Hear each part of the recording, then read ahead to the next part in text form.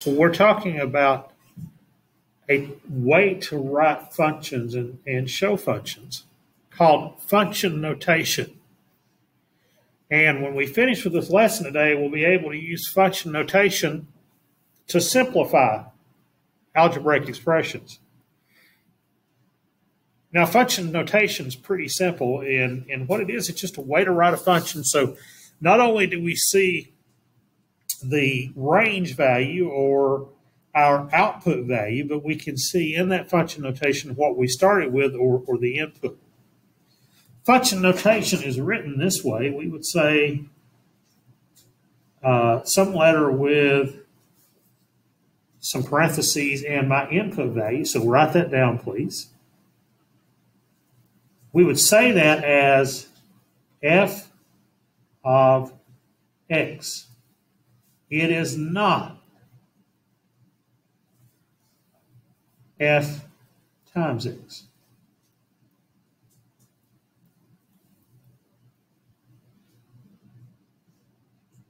And that f of x is another way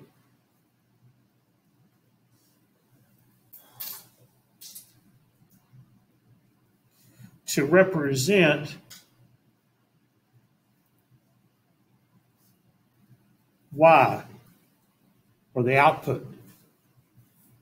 So remember that x is our input, value x can, is the domain, and then we have um, y, which is our output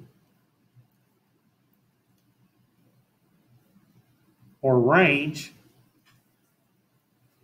And it may also be written as f of x, or we could use other functions, g of x. We can make that, that function be any letter that we want to.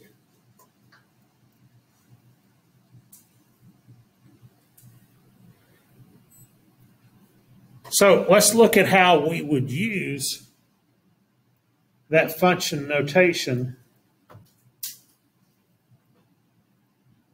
to describe or to express or to represent a function. First of all, I'm going to uh, give you several functions. The first one is f of x equals 3x plus 7. The next one is a different one, and I'm going to call it g of x. That way I can distinguish the two. You know, f of x is the first one, g of x is the second one, and, and it's 2x minus 1.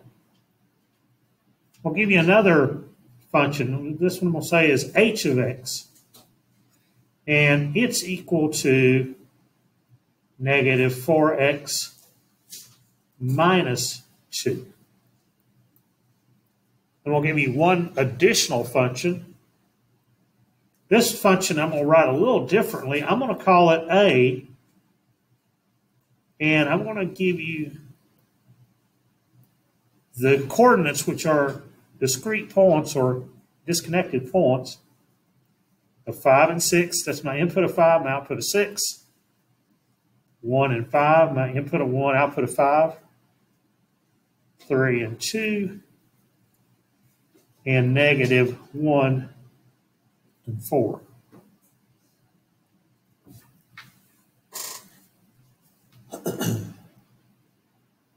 so I've got four different functions here. f of x, g of x, h of x, and function a.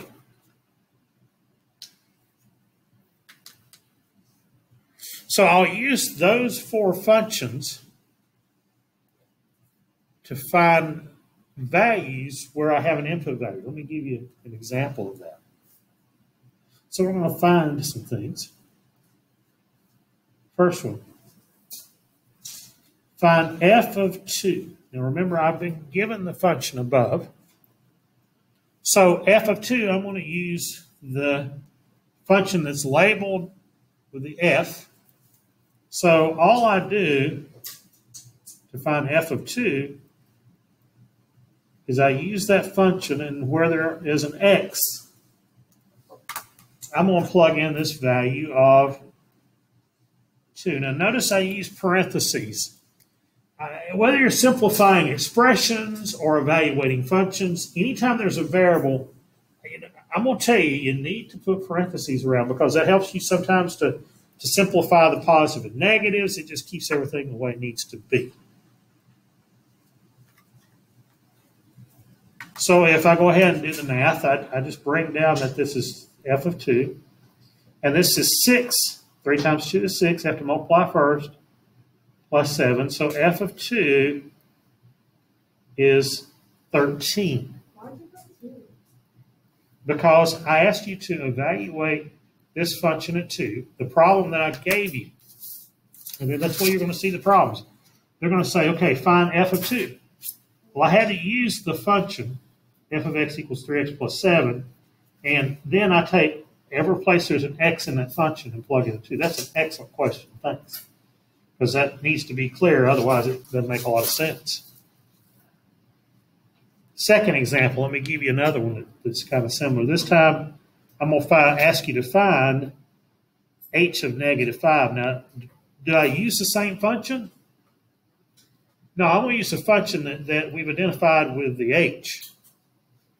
So that is h of x equals negative 4x minus 2. Let me just write that function out first. h of x equals negative 4x minus 2. So to find h of negative 5, I'm going to put a set of parentheses down where my x is and insert the negative 5. So negative 4 times negative 5 is positive 20. And then I'm going to subtract 2. So my answer is h of negative 5 is 18.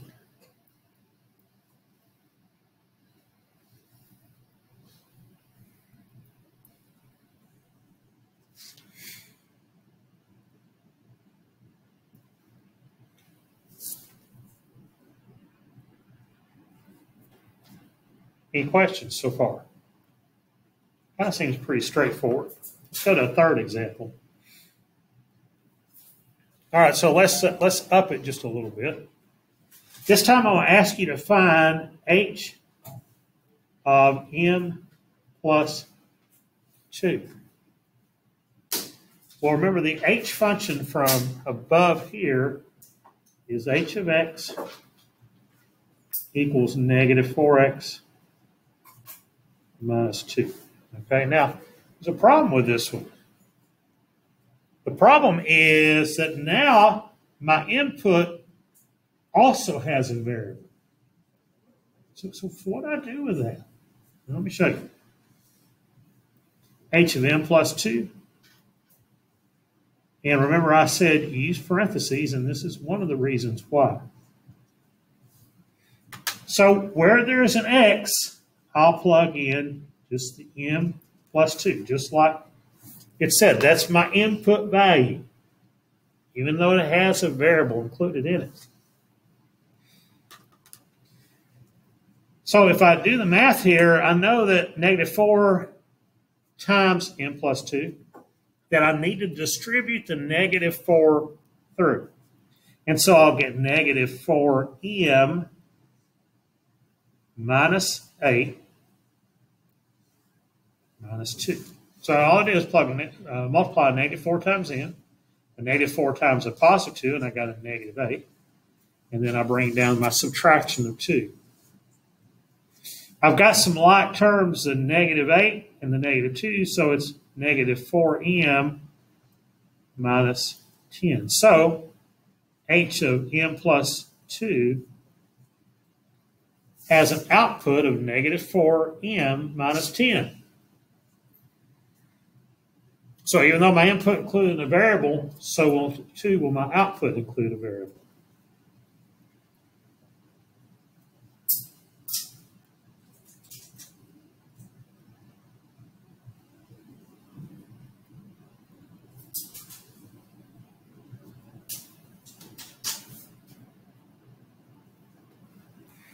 I'll write this one down, and it's a little different. This is 2 times g of 4. Okay, so first of all, we got to remember that g of x, from those I gave you at the top, is 2x minus 1. And that was just given to start out with here. g of x is equal to 2x minus 1. So I need to use that function. And I'll evaluate g of x at 4. So I know, want to know what is g of 4 and remember, where there's an x, I'll put a parentheses. I'll substitute a 4 in for x. Now, I get 2 times 4, which is 8. 8 minus 1, which is 7. Okay, so g of 4 is 7, but I'm asked to find 2 times g of 4. So what I'm asked to find is to take g of 4, which is 7, and multiply it by 2. So 2 times g of 4, then would be 2 times 7, or 14.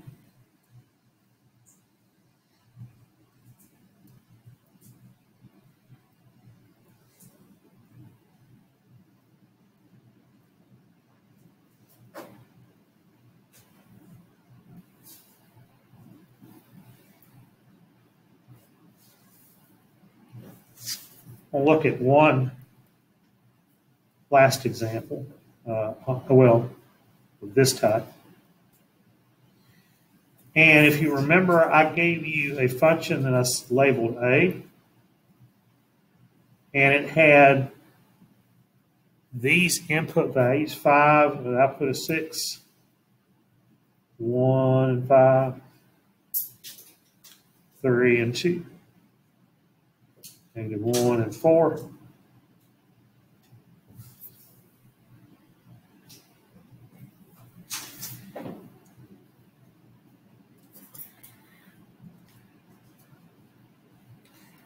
So if I asked you to find a of 5, well, this is a little simpler in a way because if I have an input of 5, I have an output of what?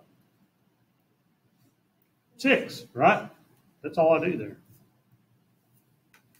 What about if I asked you to find A of 3? What would you say? Yeah, 2. Because here is my input of 3, output is 2. All right, so this question is a little bit trickier. So what is A of 0? Yes, sir. Um, okay, so I'm looking at my my function here. I have an input of 5. I have an input of 1. I have an input of 3. I have an input of negative 1. I don't see an input of 0, do you? Okay, so I, I see you're thinking of that. You're like, well, it just is zero. But actually, you're on the right track. But with an input uh, of zero that I do not even include in that function, what do you think? No, but you're close. It's going to be no solution. We have to have an input in our function that has an output. If I ask for a of zero and there is no output for it, then we would say no solution. That one's a bit trickier, but really not difficult. You just didn't know what the answer is.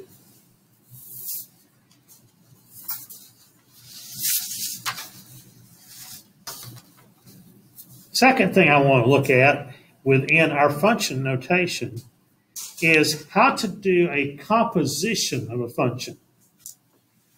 So a composition of a function is a, little different, but it, it's still along the same lines.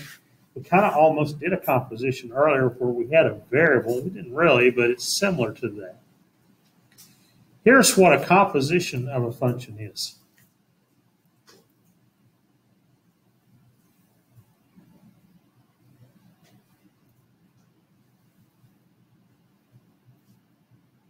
A composition of a function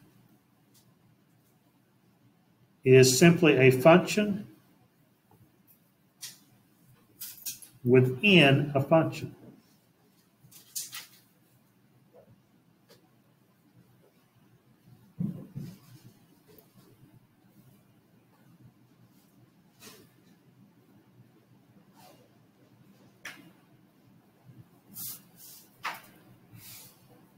Give you a for example here. F of g of x. What I've done is I've put inside f a function of g of x. So I would say that's f of g of x. Okay? Or I could put several inside of each other. So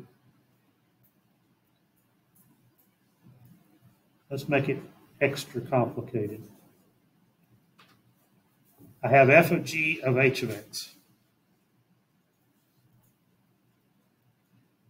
Also, a composition that f of g of x could be also written this way, f of g of x. Just a different way to write it, but it means the same thing.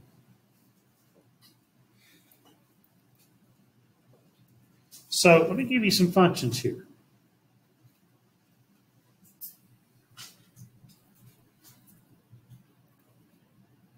First one, f of x equals 7x plus 4. g of x equals 2x minus 4 and h of x equals 3x. So let's find some composition of functions.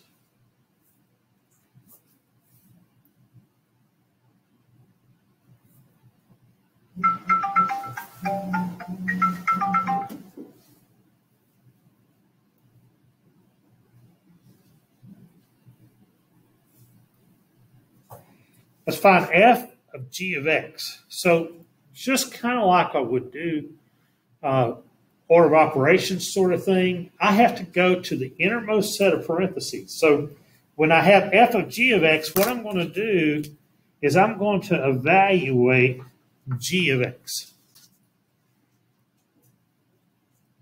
And then I'll take that answer and use it for f of x. So I have to start inside and work my way out. So um,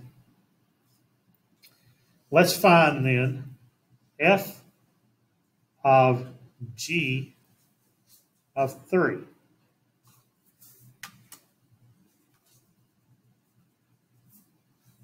So I'll start out with g of 3. Okay, so I've got my g function here. g of x equals 2x minus 4, so it equals 2x minus 4. So what I need to do is plug in the value for x. My input then is 3.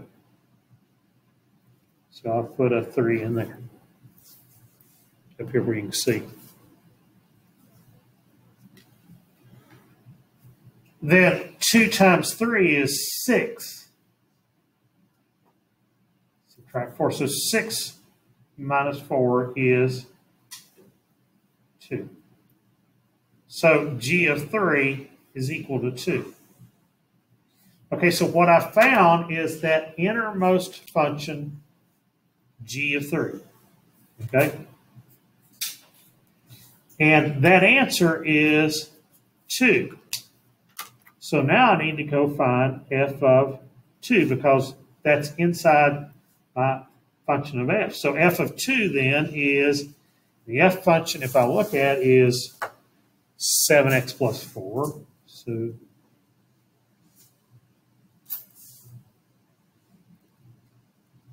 I'll put a parentheses down for my variable.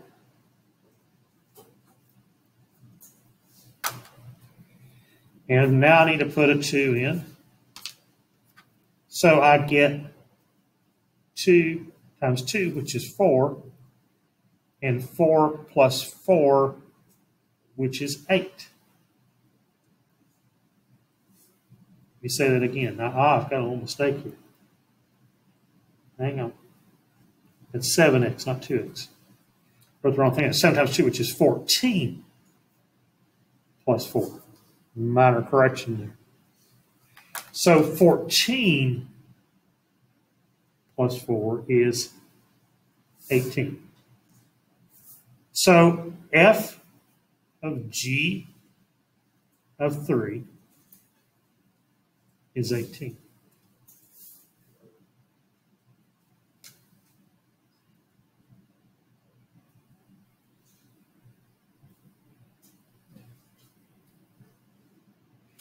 It's not really difficult, is it? Maybe a little bit, you know, tedious, but definitely not difficult. Let's look at a second.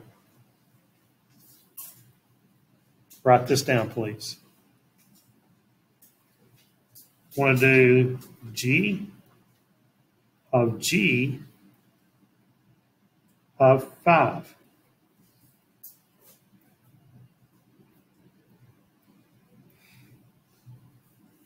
Well, first of all, G, our, our G function is G of x equals 2x minus 4. So the first thing I need to find is what is G of 5. Okay, so it's 2 times 5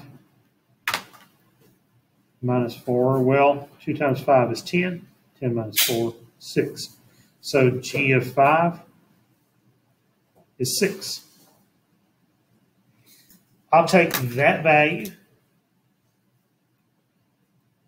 6, which is the value for G of 5, and I'll put it in there. So now I need to find G of 6. Same thing, 2 parentheses minus 4. I'm to put in a 6. So I get 12 minus 4.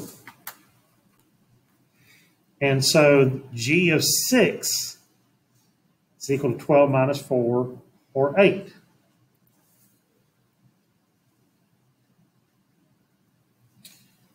So g of g of 5 is equal to 8.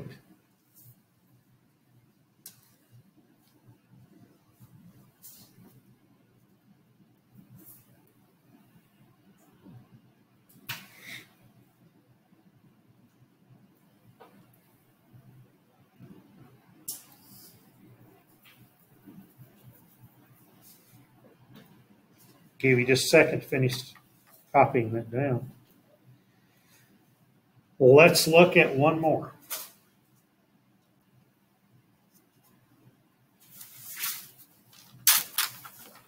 Let's see if we can really be challenged here. So this one is F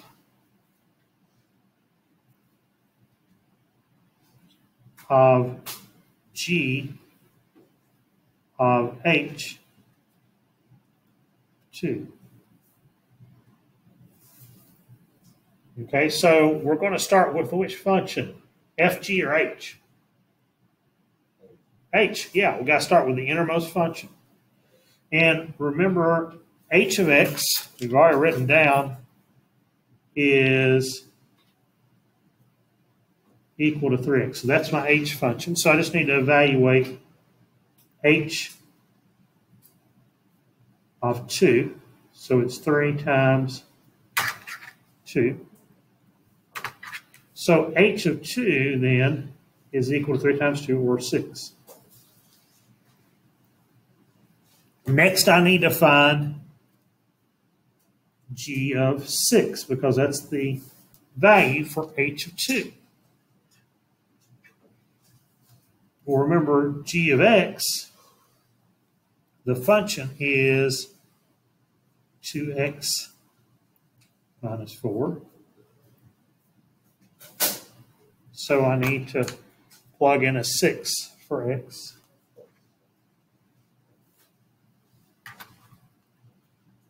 So 2 times 6 is 12. 12 minus 4 is 8. So g of 6 is 8. You know, I really wouldn't have had to have done that math all over again because in a previous problem,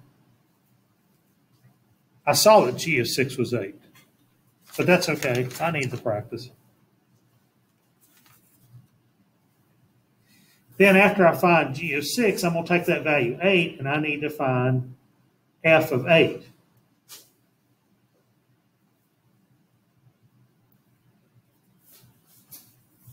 Remember my f function, if f of x is equal to 7x plus 4, all right, so f of 8 will be 7 times 8 plus 4. 7 times 8, 56. 56 plus 4 is 60. So f of 8 is 60. So, f of g of h of 2 is equal to 60. So that was probably the most challenging one we've looked at. It's not really hard, but it's going to be very important that you take the time to, to walk through each of the steps. Okay? And it's going to take a little bit of paper, a little bit of pencil, a little bit of patience. All right? And that's all you have to do to use function notation and to find the composition of functions.